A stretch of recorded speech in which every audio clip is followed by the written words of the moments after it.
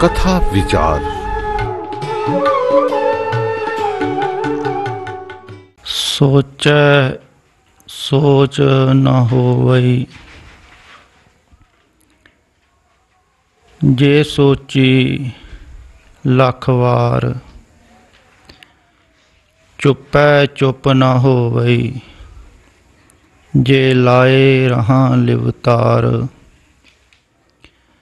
ਭੁਖਿਆਂ ਭੁਖ ਨਾ ਉਤਰਈ, ਜੇ ਬੰਨਾ ਪੁਰੀਆਂ ਪਾਰ। ਸਹਸ ਸਿਆਣਪਾਂ ਲੱਖ ਹੋਏ ਤਾਂ ਇੱਕ ਨ ਚੱਲੈ ਨਾਲ।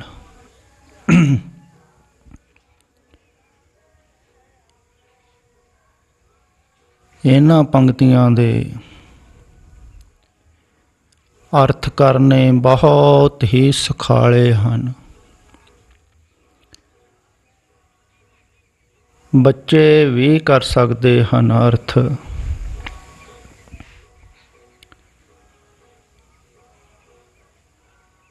ਪਰ ਜਿੰਨਾ ਚਿਰ ਭਾਵ ਨਾ ਸਮਝਿਆ ਜਾਵੇ ਉਹਨਾਂ ਚਿਰ ਇਹ ਅਰਥ ਵੀ ਸਪਸ਼ਟ ਨਹੀਂ ਹੁੰਦੇ।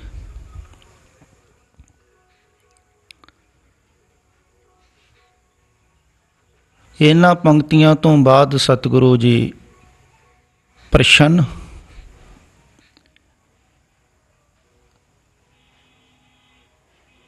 ਉਸ ਤੋਂ ਬਾਅਦ ਉੱਤਰ ਦਿੰਦੇ ਹਨ।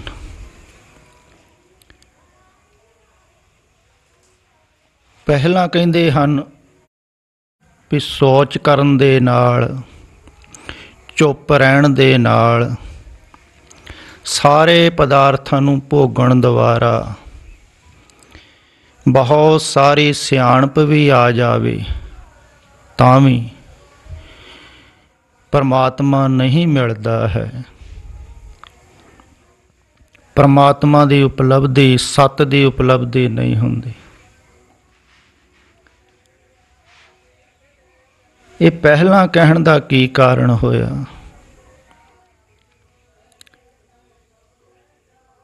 ਵੀ ਪਹਿਲਾਂ ਸਤਿਗੁਰਾਂ ਨੇ ਉਹ ਉਪਦੇਸ਼ ਦਿੱਤਾ ਹੈ, ਉਹ ਗੱਲਾਂ ਕਹੀਆਂ ਹੋਈਆਂ ਜਿਹੜੀਆਂ ਨਹੀਂ ਕਰਨੀਆਂ, ਜਿਨ੍ਹਾਂ ਨੇ ਨਹੀਂ ਪ੍ਰਾਪਤੀ ਹੁੰਦੀ।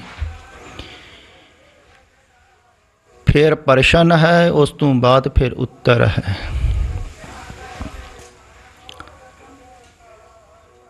ਇਹਨਾਂ ਦਾ ਵੀ ਇੱਕ ਕਾਰਨ ਹੈ।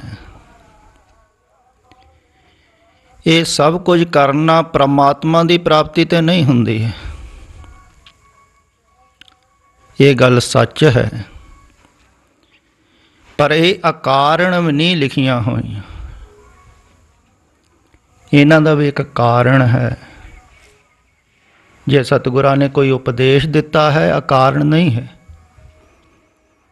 ਕਿਸੇ ਕਾਰਨ ਕਿਹਾ ਹੋਇਆ ਹੈ। ਪਹਿਲਾ ਉਪਦੇਸ਼ ਦੇਣ ਦਾ ਭਾਵ ਇਹੋ ਹੀ ਹੈ ਵੀ ਪਰਮਾਤਮਾ ਨਹੀਂ ਮਿਲਦਾ। ਇਹ ਕੁਛ ਕੀਤੇ ਆ ਪਰ ਇੱਕ ਕੰਮ ਜ਼ਰੂਰ ਹੋ ਜਾਂਦਾ ਹੈ। ਭਈ ਜਿੰਨੇ ਸੋਚ ਕੀਤੀ ਹੈ, ਚੰਗੀ ਤਰ੍ਹਾਂ ਮਨ ਦੀ ਸਫ਼ਾਈ ਕਰਨ ਦੀ ਕੋਸ਼ਿਸ਼ ਕੀਤੀ ਹੈ। ਜਿਨਨੇ ਚੁੱਪ ਰਹਿਣ ਦੀ ਕੋਸ਼ਿਸ਼ ਕੀਤੀ ਹੈ। ਜਿਨਨੇ ਮਨ ਨੂੰ ਤ੍ਰਿਪਤ ਕਰਨ ਦੀ ਕੋਸ਼ਿਸ਼ ਕੀਤੀ ਹੈ, ਵੀ ਤ੍ਰਿਪਤ ਹੋ ਜਾਵੇ। ਤੇ ਜਿਨਨੇ ਵਿਚਾਰ ਦੁਆਰਾ, ਸੋਚ ਜਵਾਰਾ ਆਪਣੀ ਬੁੱਧੀ ਨੂੰ ਪਰਖਰ ਕੀਤਾ ਹੈ, ਉਹਨੇ ਇੱਕ ਕੰਮ ਜ਼ਰੂਰ ਕਰ ਲਿਆ ਹੈ। ਉਹ ਕੰਮ ਹੈ ਸੰਸਾਰ ਤੋਂ ਵੈਰਾਗ।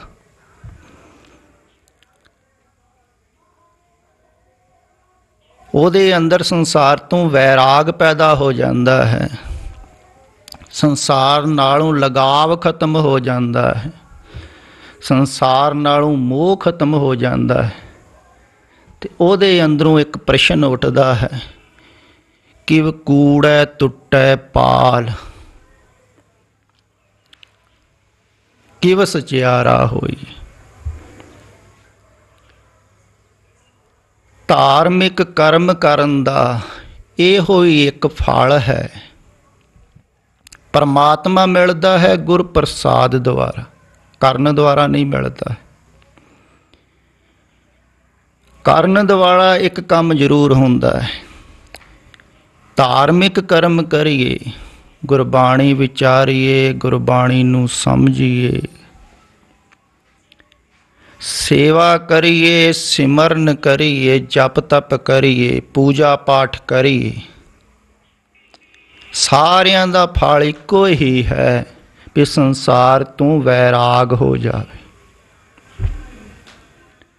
ਜਿਹਦੇ ਅੰਦਰ ਵੈਰਾਗ ਨਹੀਂ ਪੈਦਾ ਹੋ ਰਿਹਾ ਹੈ ਨਾ ਸੰਸਾਰ ਤੋਂ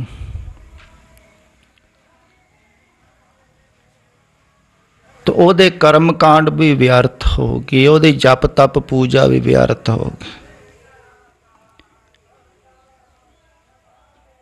ਬੇਰਹਾ ਬੇਰਹਾ ਆਖੀਏ ਬੇਰਹਾ ਤੂੰ ਸੁਲਤਾਨ, ਜਿਤ ਤਨ ਬੇਰਹਾ ਨਾ ਉਪਜੈ, ਸੋ ਤਨ ਜਾਣ ਮਿਸਾਨ। ਜਿਹਦੇ ਅੰਦਰ ਵੈਰਾਗ ਪੈਦਾ ਨਹੀਂ ਹੋਇਆ ਹੈ ਸੰਸਾਰ ਤੋਂ ਉਪਰਾਮਤਾ ਝੂਠ ਨੂੰ ਛੱਡਣ ਨੂੰ ਜਿਹੜਾ ਤਿਆਰ ਨਹੀਂ ਹੋਇਆ ਹੈ।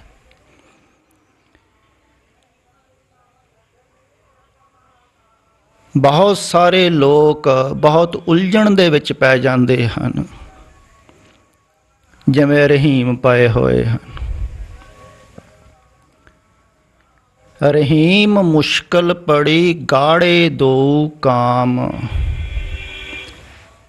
ਸਾਚੇ ਤੇ ਜਗ ਨਹੀਂ, ਝੂਠੇ ਮਿਲੇ ਨਾ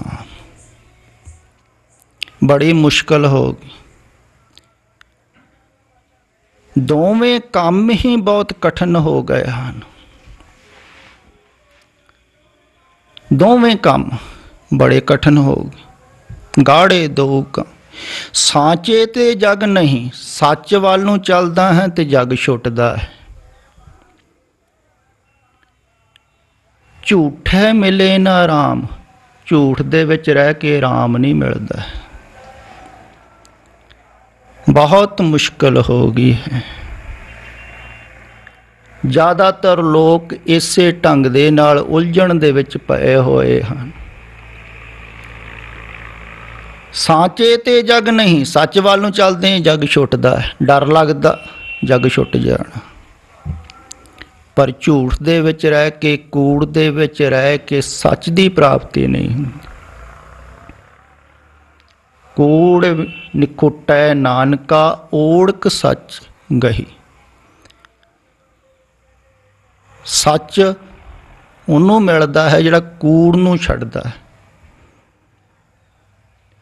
ਪਰ ਆਪਾਂ ਕੂੜ ਨੂੰ ਕੂੜ ਪਹਿਲਾਂ ਦੇਖਦੇ ਹੀ ਨਹੀਂ। ਕਿੰਨੀ ਮੁਸੀਬਤ ਕਿੰਨੀ ਔਖਿਆਈ ਕਿੰਨਾ ਦੁੱਖ, ਕਿੰਨੀਆਂ ਪਰੇਸ਼ਾਨੀਆਂ ਇਸ ਕੂੜ ਵਾਸਤੇ ਸਹਾਰ ਰਹੇ ਹਾਂ। ਦਿਨ ਰਾਤ ਭੱਜੇ ਫਿਰਦੇ ਕੂੜੈ ਕੂੜ, ਨੇਹੋਂ ਲੱਗਾ ਵਿਸਰਿਆ ਕਰਤਾਰ। ਕੂੜ ਦਾ ਹੀ ਕੂੜ ਦੇ ਨਾਲ ਨੇਹੋਂ ਲੱਗਾ ਹੋਇਆ ਤੇ ਕਰਤਾਰ ਵਿਸਰ ਗਿਆ। ਜਿਹਦੇ ਨਾਲ ਆਪਾਂ ਪਿਆਰ ਕਰਾਂਗੇ, ਪ੍ਰੇਮ ਕਰਾਂਗੇ, ਵੈਸੇ ਹੀ ਹੋ ਜਾਵਾਂਗੇ। ਜੇ ਕੂੜ ਦੇ ਨਾਲ ਆਪਾਂ ਪਿਆਰ ਕਰ ਰਹੇ ਹਾਂ ਨਾ, ਤੇ ਕੂੜ ਹੀ ਹੋਗੇ ਸਮਝ ਲਓ ਜੈਸਾ ਸੇਵੇ, ਤੈਸੋ ਹੋਏ। ਕੂੜ ਨੂੰ ਛੱਡਣ ਨੂੰ ਆਪਾਂ ਤਿਆਰ ਨਹੀਂ, ਕੂੜ ਵਾਸਤੇ ਹੀ ਸੰਘਰਸ਼ ਚੱਲ ਰਿਹਾ ਹੈ ਸਾਰੇ ਸੰਸਾਰ ਦੇ ਵਿੱਚ। ਅਜੋਕੇ ਸਮੇਂ ਦੇ ਵਿੱਚ ਧਾਰਮਿਕ ਆਦਮੀ ਲੱਭਣਾ ਕਠਿਨ ਹੋ ਗਿਆ ਹੈ। ਕਿਉਂਕਿ ਧਰਮ ਦੀ ਖੋਜ ਕਰਨ ਵਾਲਾ ਕੋਈ ਵਿਰਲਾ ਹੀ ਹੈ। ਧਰਮ ਦੀ ਆਕਾਂਸ਼ਾ ਕਰਨ ਵਾਲਾ। ਜਿਹਦੀ ਸਿਰਫ ਹੀ ਧਰਮ ਦੀ ਹੀ ਜਗਿਆਸਾ ਹੈ। ਬੜਾ ਕਠਿਨ ਹੋ ਗਿਆ ਲੱਭਣ। ਸੰਸਾਰ ਦੀਆਂ ਜਗਿਆਸਾਂ ਵਾਲੇ ਤੇ ਬਹੁਤ ਸੰਸਾਰ ਦੀ ਇੱਛਾ ਰੱਖਣ ਵਾਲੇ ਤੇ ਸਾਰੇ ਹੀ ਹਨ। ਸੰਸਾਰ ਦੀ ਚਾਹਤ ਤੇ ਆਪਣੇ ਸਾਰਿਆਂ ਦੇ ਅੰਦਰ ਹੀ ਹੈ। ਕੋਈ ਛੱਡਣਾ ਚਾਹੁੰਦਾ ਹੈ ਵੀ ਛੁਟਕਾਰਾ ਹੋ ਜਾਵੇ। ਜੇ ਛੱਡਣਾ ਹੀ ਨਹੀਂ ਚਾਹੁੰਦੇ ਤੇ ਇਹ ਪ੍ਰਸ਼ਨ ਕਿਵੇਂ ਉਠੂਗਾ? ਕੂੜੇ ਟੁੱਟੇ ਪਾਲ ਜੇ ਚਾਹਤ ਹੀ ਨਹੀਂ ਹੈ ਛੱਡਣ ਦੀ, ਕੂੜ ਦੀ, ਛੱਡਣ ਦੀ ਚਾਹਤ ਨਹੀਂ ਹੈ।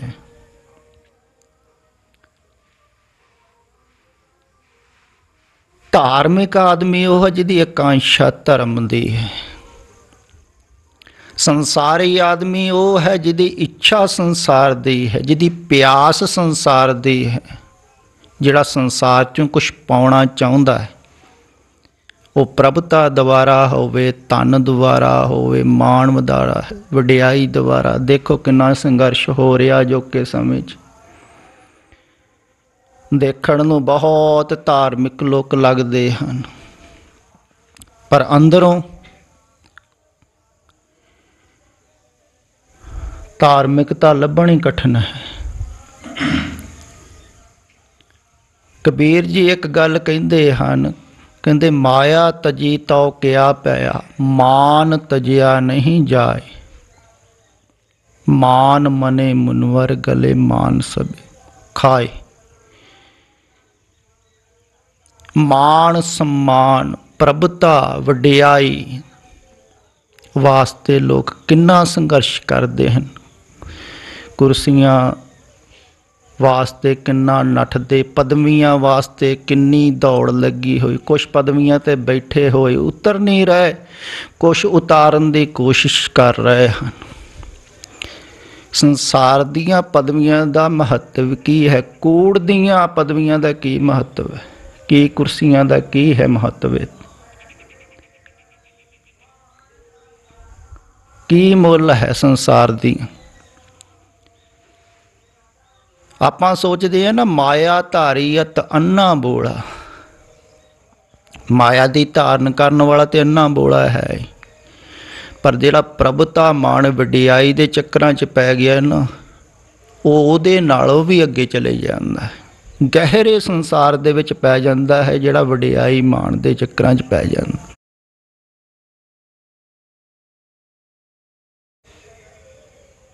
ਕੁਝ ਕੁ ਲੋਕ ਜਿਹਦੇ ਨਾਲ ਜੁੜ ਗਏ, ਉਹਨੂੰ ਫਿਰ ਧਿਆਨ ਰੱਖਣਾ ਚ ਪੈਂਦਾ ਹੈ ਵੀ ਇਹਦੇ ਨਾਲੋਂ ਘਟਣ ਨਾ ਵਧਣ ਤੇ ਜ਼ਰੂਰ ਹੀ। ਮੇਰੇ ਨਾਲ ਜਿੰਨੇ ਕੁ ਜੁੜੇ ਹਨ, ਇਹਨੂੰ ਵਧਣ, ਕਿਉਂਕਿ ਹਰ ਵਕਤ ਇਹ ਧਿਆਨ ਰੱਖਣਾ ਪੈਂਦਾ ਹੈ। ਪ੍ਰਭਤਾ ਮਾਣ ਵਡਿਆਈ ਵਾਲੇ ਨੂੰ, ਕਿਉਂਕਿ ਸ- ਬਹੁਤ ਸਾਰੇ ਥੱਲੇ ਖਿੱਚਣ ਨੂੰ ਤਿਆਰ ਹਨ। ਕੌਣ ਚਾਹੁੰਦਾ ਹੈ ਮੂਰੇ ਕੋਈ ਨਿਕਲ ਜਾ? ਸਾਰਿਆਂ ਦੀ ਚਾਹਤ ਹੈ ਉੱਪਰ ਬੈਠਣ ਦੀ। ਬੜਾ ਸੰਘਰਸ਼ ਕਰ ਰਹੇ ਕਾਦੇ ਵਾਸਤੇ ਕਰ ਰਹੇ? ਇਹ ਕੂੜ ਵਾਸਤੇ। ਇਹ ਸੰਸਾਰ ਵਾਸਤੇ, ਜਿਹੜਾ ਬਿਲਕੁਲ ਝੂਠ ਹੈ, ਵਾਰ-ਵਾਰ ਸਤਿਗੁਰੂ ਜੀ ਕਹਿ ਰਹੇ ਹਨ ਵੀ ਬਿਲਕੁਲ ਵਿਅਰਥ।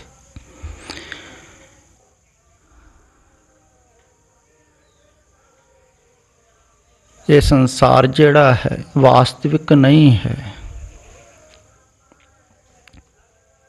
ਇਹ ਧੂਏ ਦਾ ਪਹਾੜ ਹੈ, ਜਿਵੇਂ ਪਹਾੜ ਧੂਏ ਦਾ ਬਣ ਜਾਂਦਾ ਨਾ, ਵਿਖਰ ਜਾਂਦਾ। ਇਹ ਬਾਲੂ ਕੀ ਭੀਤ, ਬਨਾਈ ਰਚਪਤ ਰਹਿਤ ਨਹੀਂ ਦਿਨ ਚਾਰ। ਨਾ ਇਹ ਸਰੀਰ ਰਹਿੰਦਾ ਹੈ, ਨਾ ਘਰ ਰਹਿੰਦਾ ਹੈ, ਨਾ ਬਾਹਰ ਰਹਿੰਦਾ।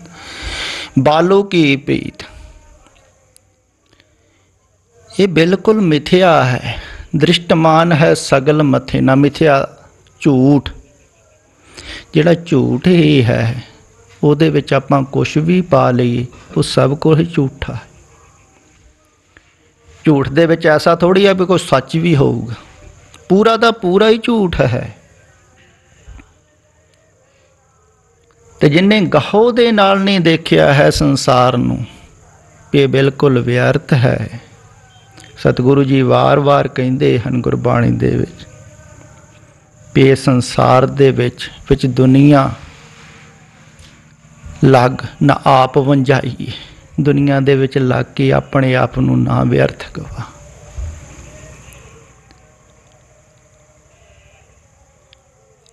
ਇਹ ਦੁਨੀਆ ਦੇ ਵਿੱਚ ਪੈ ਕੇ ਆਪਣੇ ਜੀਵਨ ਨੂੰ ਵਿਅਰਥ ਨਾ ਗਵਾ। ਸੰਸਾਰ ਦੀ ਮੋਹ ਮਮਤਾ ਦੇ ਵਿੱਚ ਪੈ ਕੇ ਆਪਣਾ ਸਤਿਆਨਾਸ਼ ਨਾ ਕਰ। ਵੇਖੋ ਕਿੰਨੀ ਵਾਰਾਂ ਸਮਝਾਇਆ ਜਿਹਦੇ ਅੰਦਰ ਇਹ ਵੈਰਾਗ ਪੈਦਾ ਨਹੀਂ ਨਾ ਹੋਇਆ ਕਿ ਸੰਸਾਰ ਵਿਅਰਥ ਹੈ। ਜਿਹਦੇ ਅੰਦਰ ਬਿਰਹਾ ਨਹੀਂ ਪੈਦਾ ਹੋਇਆ, ਉਹਦੇ ਅੰਦਰੋਂ ਇਹ ਪ੍ਰਸ਼ਨ ਪੈਦਾ ਨਹੀਂ ਹੋਣਾ ਹੈ। ਕਿ ਵਕੂੜੈ ਕੂੜੈ ਟੁੱਟੈ ਪਾਲ। ਜਿਹਦੇ ਅੰਦਰੋਂ ਇਹ ਪ੍ਰਸ਼ਨ ਪੈਦਾ ਨਹੀਂ ਹੋਇਆ, ਉਹਨੂੰ ਉੱਤਰ ਨਹੀਂ ਮਿਲਣਾ ਹੈ। ਸਤਿਗੁਰੂ ਜੀ ਉਹ ਦੇ ਰਹੇ ਹਨ ਸਤਿਗੁਰੂ ਜੀ ਦਾ ਉੱਤਰ ਉਹਨੂੰ ਹੀ ਮਿਲਣਾ ਹੈ, ਜਿਹਦੇ ਗਹਿਰੇ ਤਲ ਤੋਂ ਅੰਦਰੋਂ ਇੱਕ ਪ੍ਰਸ਼ਨ ਪੈਦਾ ਹੋਇਆ ਵੀ, ਮਾਲਕ,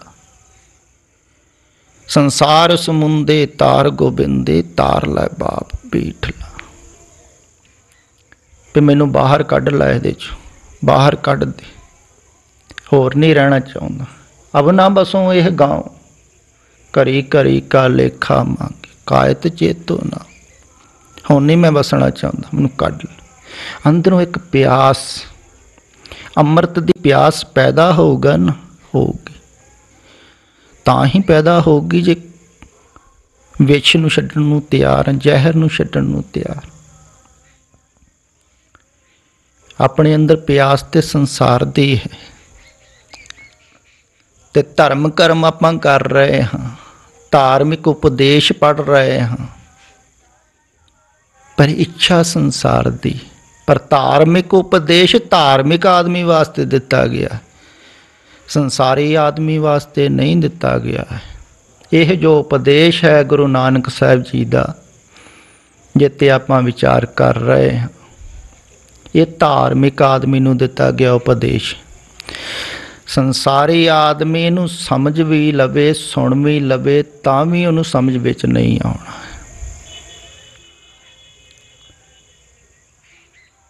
ਇਹ ਉਹਨੂੰ ਹੀ ਸਮਝ ਵਿੱਚ ਆਉਣਾ ਹੈ ਜਿਹੜੇ ਵਾਸਤਵਿਕ ਧਰਮ ਦੀ ਖੋਜ ਹੈ, ਜਿਹਦੇ ਅੰਦਰ ਪਿਆਸ ਹੈ, ਤੜਪ ਹੈ।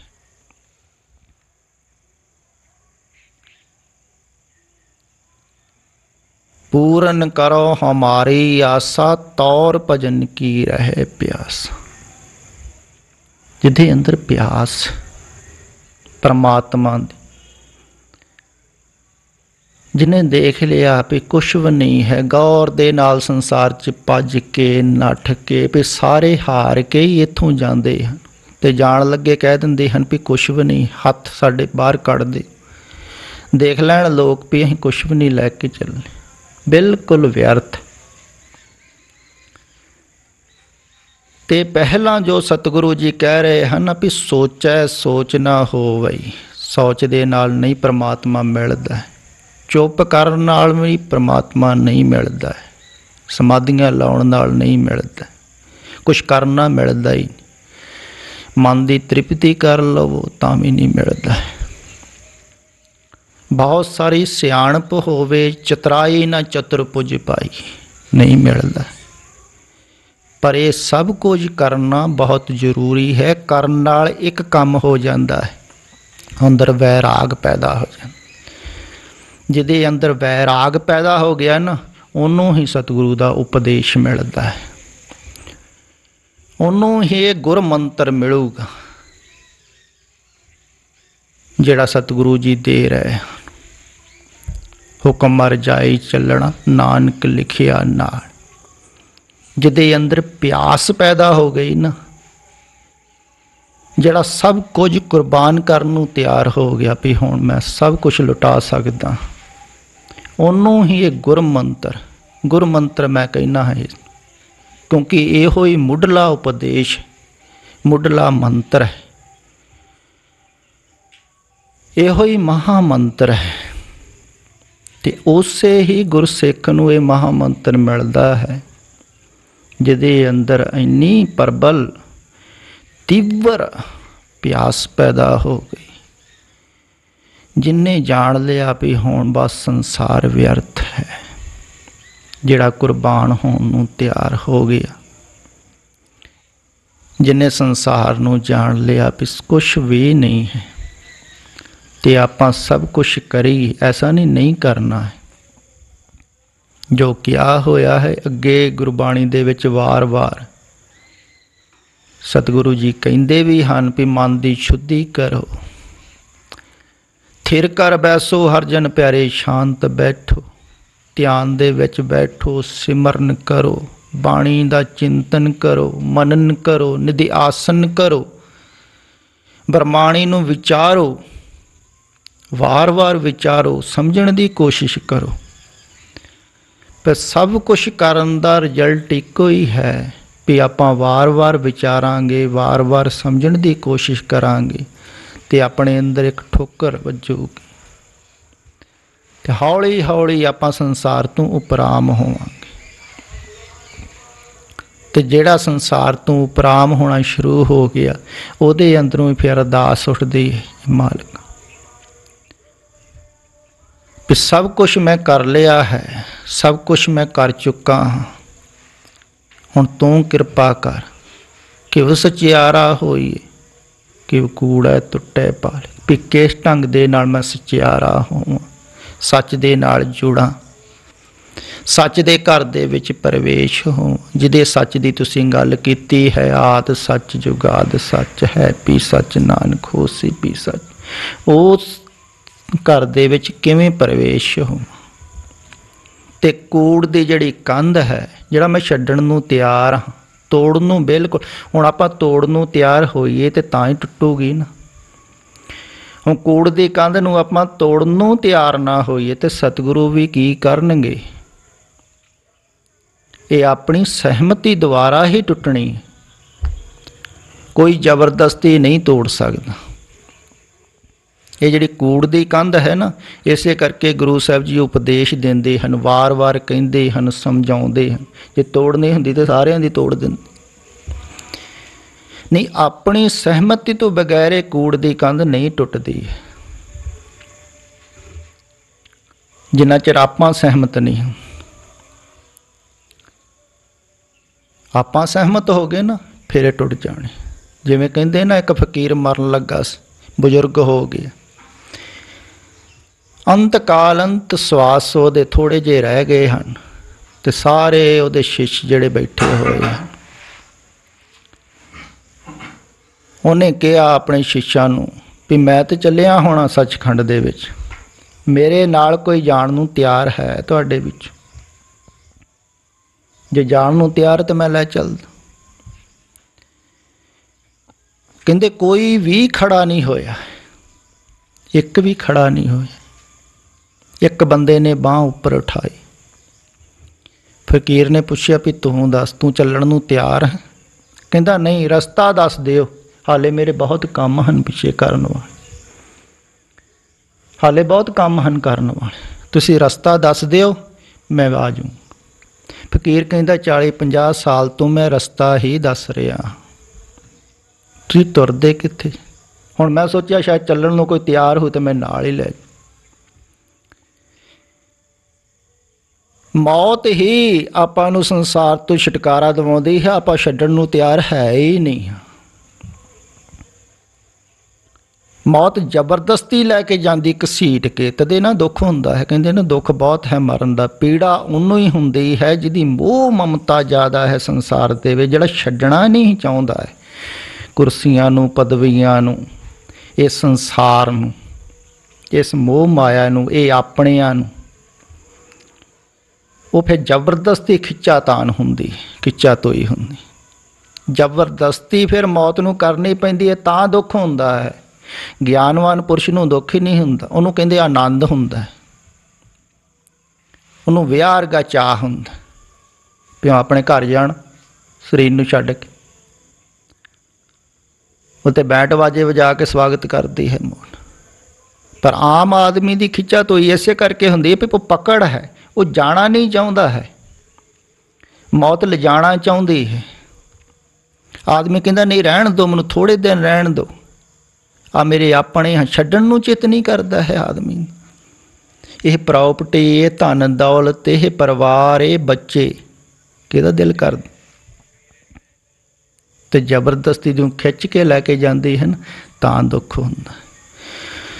ਫਿਰ ਆਪਣਾ ਛੁਟਕਾਰਾ ਹੁੰਦਾ। ਛੁਟਕਾਰਾ ਕਿੱਥੇ ਹੁੰਦਾ? ਦੁਬਾਰਾ ਫਿਰ ਇੱਥੇ ਆ ਜਾਂਦੇ ਛੁਟਕਾਰਾ ਤਾਂ ਹੀ ਹੋਣਾ ਹੈ ਜੇ ਆਪਾਂ ਗਹੋ ਦੇ ਨਾਲ ਜਾਣ ਲਈਏ। ਤੇ ਜੀਂਦੇ ਜੀ ਹੀ ਸੰਸਾਰ ਨੂੰ ਛੱਡਦੀ ਜਿਵੇਂ ਰਾਜਾ ਜਨਕ ਬਦੇਹ ਮੁਕਤ ਹੋ ਗਏ। ਜੀਂਦੇ ਜੀ ਸੰਸਾਰ ਚ ਰਹਿੰਦੇ ਹੋਏ ਦੇਹੀ ਤੂੰ ਮੁਕਤ ਹੋ ਐਵੇਂ ਆਪਣੇ ਅੰਦਰ ਇੱਕ ਜਗਿਆਸਾ, ਇੱਕ ਕਾਂਸ਼ਾ ਪੈਦਾ ਹੋਵੇ ਸੰਸਾਰ ਨੂੰ ਛੱਡਣ ਦੀ ਤੇ ਆਪਣੇ ਅੰਦਰ ਪ੍ਰਸ਼ਨ ਪੈਦਾ ਹੋਵੇ। ਤੇ ਫਿਰ ਸਤਿਗੁਰੂ ਜੀ ਉੱਤਰ ਦੇਣਗੇ। ਤੇ ਜਿਹੜਾ ਉੱਤਰ ਦੇਣਗੇ, ਉਹਨਾਂ ਗੁਰਮੁਖਾਂ ਨੂੰ ਮਿਲਣਾ ਹੈ, ਜਿਹੜੇ ਗੁਰਮੁਖਾਂ ਨੇ ਜਾਣ ਲਿਆ ਹੈ ਸੰਸਾਰ ਵਿਅਰਥ। ਇਹ ਖਿਆਲ ਵਿੱਚ ਰੱਖਣਾ ਹੈ।